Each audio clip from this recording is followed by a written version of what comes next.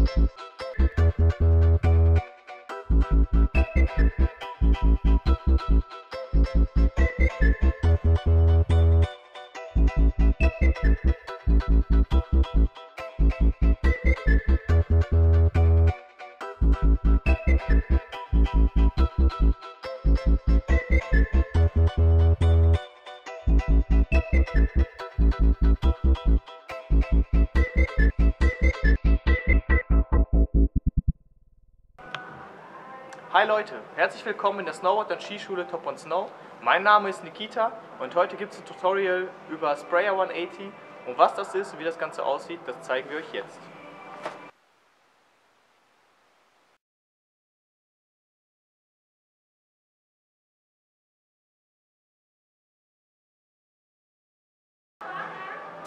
So, ob er tatsächlich Sprayer 180 heißt, weiß ich nicht. Ich jedenfalls werde ihn jetzt im Video so bezeichnen, weil er für mich so logisch erscheint.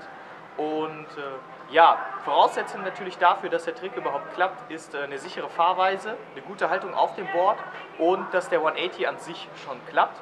Denn äh, ohne diese Voraussetzung kann der Trick nicht gelingen.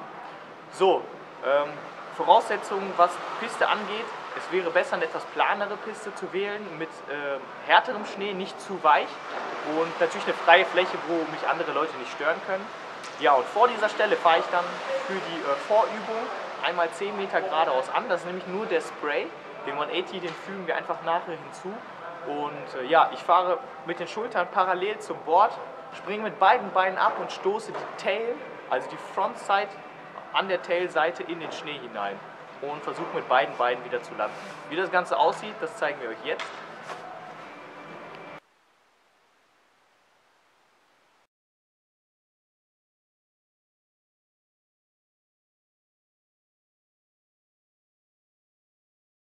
So, wenn der Spray jetzt mit langsamer Geschwindigkeit klappt, versuche ich ein wenig die Geschwindigkeit zu erhöhen, weil für den 180 an sich brauche ich noch ein bisschen mehr Schwung und ein bisschen mehr Höhe.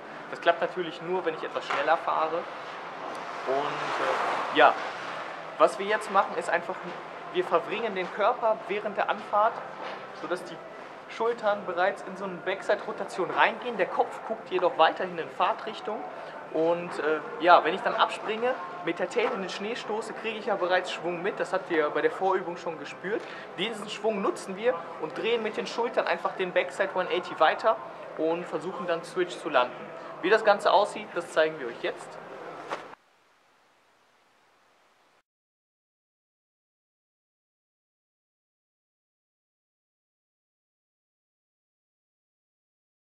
Okay, der Sprayer 180 klappt jetzt schon auf moderater Piste. Ihr jetzt könnt ihr das einfach ausprobieren mit mehr Geschwindigkeit, mit irgendwelchen Variationen, die ihr gerne machen solltet. Und dann sollte es ein stylischer, schneller Trick sein, den ihr eigentlich in jeder Situation meistern könnt.